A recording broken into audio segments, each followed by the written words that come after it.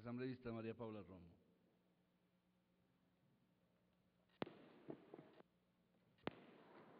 Gracias, presidente. Yo creo que hay varios temas que reflexionar respecto de la consulta y no todos se refieren en particular a las preguntas, pero lo haré un poco más adelante y por eso pido que los colegas de Secretaría tengan lista la presentación que les he entregado. Pero creo que hay algunas cosas que se deben decir.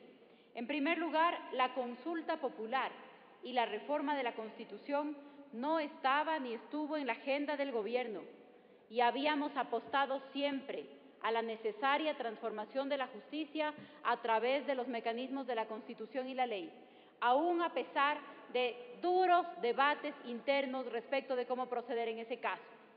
Es cierto que en la Asamblea Constituyente muchos sectores nos dijeron que tumbemos a la Corte y que cambiemos a la Corte y que nombremos otra Corte. Son los mismos sectores que también nos dijeron que le demos amnistía a Abdalá Bucaram. En ambos casos dijimos que no, y al menos yo estoy de acuerdo y orgullosa de haberlo hecho. Creo que no era el mecanismo y por eso lo defendimos. No es un asunto del que hoy debamos arrepentirnos. Los discursos de la oposición irresponsable, no estoy diciendo de toda la oposición, digo de aquella que fue sobre este tema irresponsable, nos trajeron hasta aquí. Porque en este mismo pleno, muchas veces, cuando hemos estado insistiendo que el tema de la seguridad es un asunto complejo que tiene que ver con el problema regional, con la policía, con la fiscalía, con la crisis estructural de la justicia, algunos sectores se empeñaron en decir es el presidente Correa. Claro que está mal personalizar, pero está mal personalizar de cualquier lado que se lo haga, pues. Y muchos sectores de la oposición personalizaron y trataron de afectar la popularidad y la credibilidad del presidente Correa con un tema tan sensible. Y dijeron, es el presidente Correa el que ahora nos responde por cada asalto.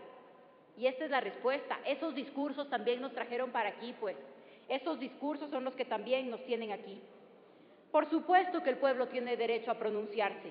Defiendo y defenderé siempre la participación ciudadana y la toma de decisiones por parte de los ciudadanos.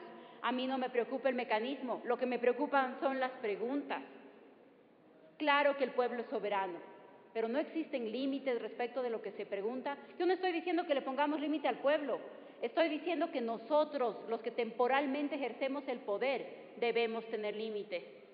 ¿Es correcto preguntarle al pueblo soberano cualquier cosa? Podemos preguntarle mañana al pueblo que las mujeres ya no tengamos derecho a votar, porque es una mala idea y somos un peligro las feministas. Entonces tal vez podemos preguntarle mañana que las mujeres ya no tengamos derecho a votar.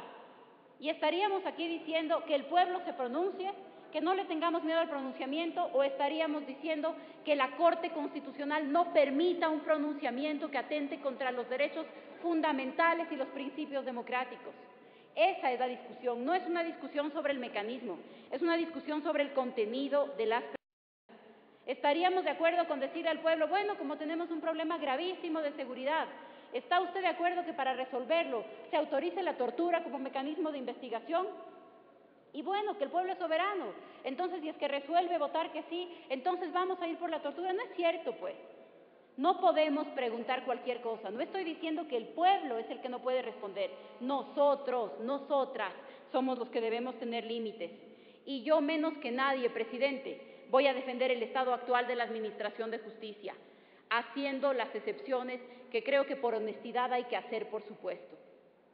Yo menos que nadie voy a defender el estado actual de la Administración de Justicia, pero creo que no está de más recordarnos, presidente, que esta no es la primera oportunidad que tenemos para decir cómo está la justicia y que en otras ocasiones en este mismo pleno hemos sido responsables de que no se sancione a quienes son los que hoy tienen a la justicia colapsada.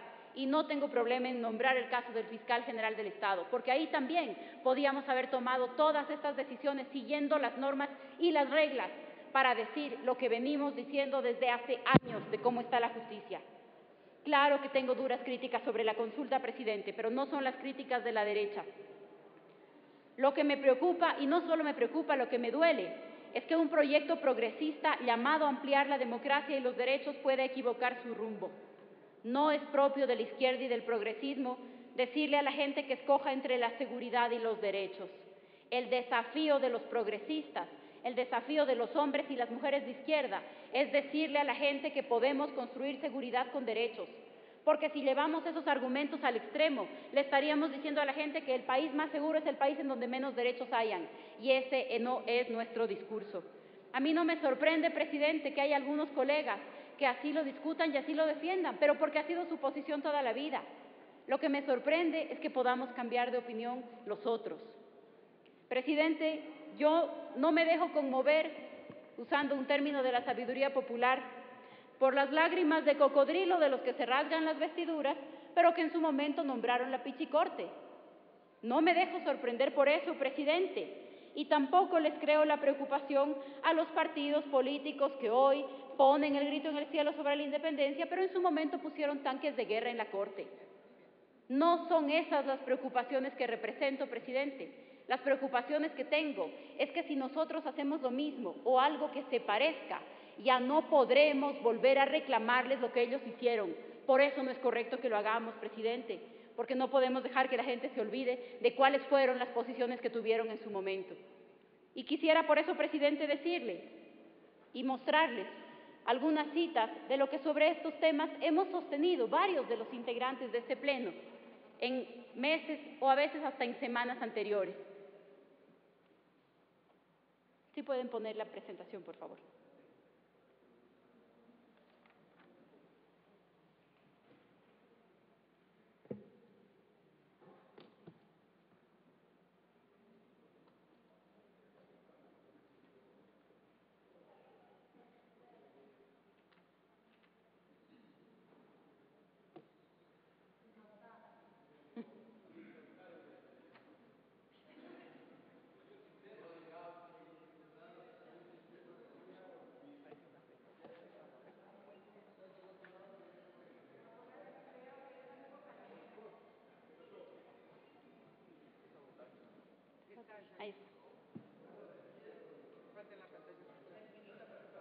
Pongan la siguiente, por favor.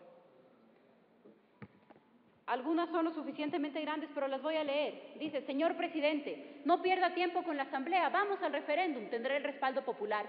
No lo dijo usted, presidente. No lo dijo ningún de país, lo dijo la asambleísta Cintia Viteri hace menos de un mes. Así es, y yo solamente lo que hago es recordarlo para mirar y para discutir por qué me sorprende tanto la consulta. No, no es necesario hacer eso, por favor, solamente la exposición. Ahí, sí. Por favor, solamente lo que les pido es pasar las eh, diapositivas porque no vamos a tener tiempo de, de mirar las publicaciones. Siguiente declaración. El artículo 441 le da al presidente la facultad de convocar directamente a la consulta y eso es lo que hay que hacer. Vamos a una consulta directa para reformar la Constitución en los términos que el pueblo quiera. No lo dijo usted tampoco, presidente, ni tampoco ninguno de los miembros del bloque de país. Lo dijo el alcalde Jaime Nebot. Por eso me preocupa. No me preocupa que lo diga el Partido Social Cristiano Madera de Guerrero. Me preocupa que les hayamos tomado la palabra. La siguiente, por favor. La primera pregunta sobre el tema de la prisión preventiva. Por favor, la siguiente. ¿Qué hemos dicho sobre la prisión preventiva? En el proyecto de cambio del orden del día presentado hace algunas semanas cuando este Pleno debatía la reforma penal, el Partido Madera de Guerrero propuso que es indispensable que el Ejecutivo convoque para resolver estos temas porque el 64% de los ecuatorianos está en contra de la caducidad de la prisión preventiva. En ese momento les dijimos que así no se decide la política penal, que eso se llama populismo penal, que no se legisla con las encuestas, que hay decisiones que se asumen en la representación y que no se llama a la popularidad de temas tan sensibles. No lo dijimos nosotros, nosotros no somos los que propusimos eso. Sigamos, por favor. Lo más democrático que puede hacerse hoy es someter a referéndum de conformidad con los artículos 441 de la Constitución. O sea que ahí sí era constitucional ir a la, consulta popular. También las palabras de la asambleísta Cintia Viteri y el contenido del proyecto de resolución. La siguiente, por favor. Palabras del defensor del pueblo en contra de, de suspender la caducidad de la prisión preventiva. La siguiente. Doctor Benjamín Ceballos, lo mismo, pero yo creo que es la palabra menos calificada en este momento, así que pasemos, por favor. Sobre la siguiente pregunta, con la finalidad de evitar la impunidad, si es que está de acuerdo con evitar la excepcionalidad de la prisión preventiva. Pasemos a las respuestas, por favor. Esto es lo que dijo la asambleísta Silvia Salgado el año pasado. La figura extintiva tiene fundamento doctrinario y legal en el principio de presunción de inocencia, por ello no estoy de acuerdo y no pueden ser admitidos. Sigamos. Asambleísta Rolando Panchana y asambleísta Verónica Barufaldi. La prisión preventiva es una medida de carácter excepcional. Sigamos. Asambleísta Betty Carrillo, la prisión preventiva será el último recurso como medida cautelar. Asambleísta Viviana Bonilla, la prisión preventiva es una medida cautelar que debe ser ordenada como última opción de todas. Sigamos. Asambleísta Beethoven Chica, toda detención previa a un juicio contradice los principios de protección de la persona acusada y vulnera abiertamente el principio de inocencia. Sigamos.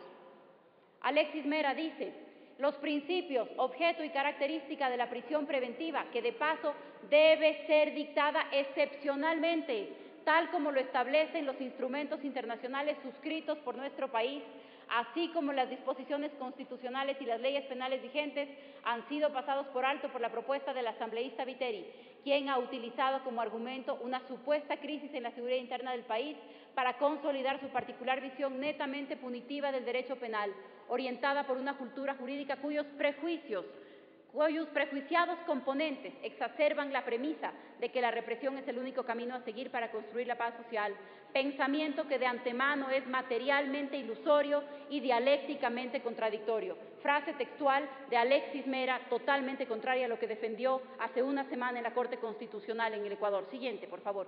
Alexis Mera la agilidad o demora en el despacho de las causas judiciales que muchas veces produce la ineficacia de la prisión preventiva no puede ni debe ser solucionada con vulneración de los derechos constitucionales.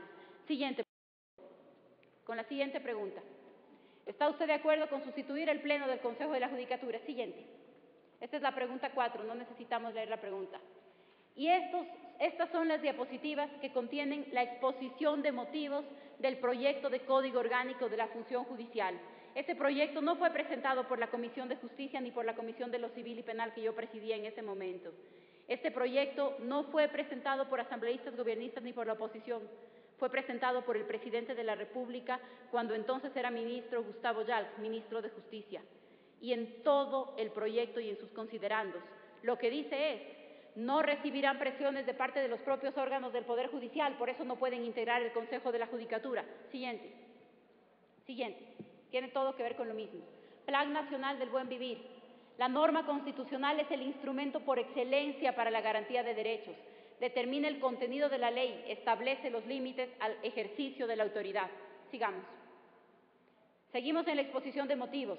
Para que la Administración de Justicia sea eficiente es preciso distinguir nítidamente los ámbitos de actuación de cada uno de los órganos que integran la función judicial. Es decir, es claramente incompatible que los órganos que integran la función judicial sean los mismos que integran el Consejo de la Judicatura, porque nos vamos contra el principio que nosotros hemos defendido. No puede haber poder sin control. No puede haber poder sin control, es el principio elemental de la democracia, no de la Constitución como fetiche, pero de los principios como límite, presidente. Y como creo que en este momento estoy cerca de terminar mi tiempo, voy a entregarles... Gracias, presidente. Voy a entregarles estas mismas diapositivas. Quisiera que adelanten casi hasta el final, por favor.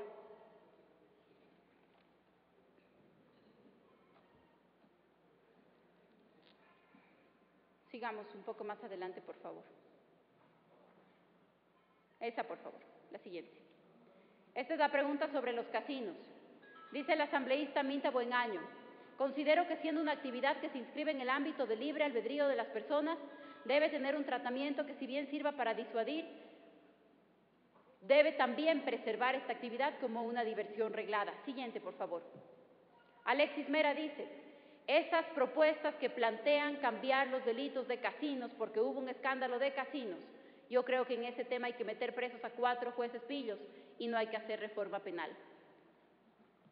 Presidente, yo quería recordar y recordarnos lo que hemos dicho, porque no son los argumentos de la derecha, no son los argumentos de la oligarquía.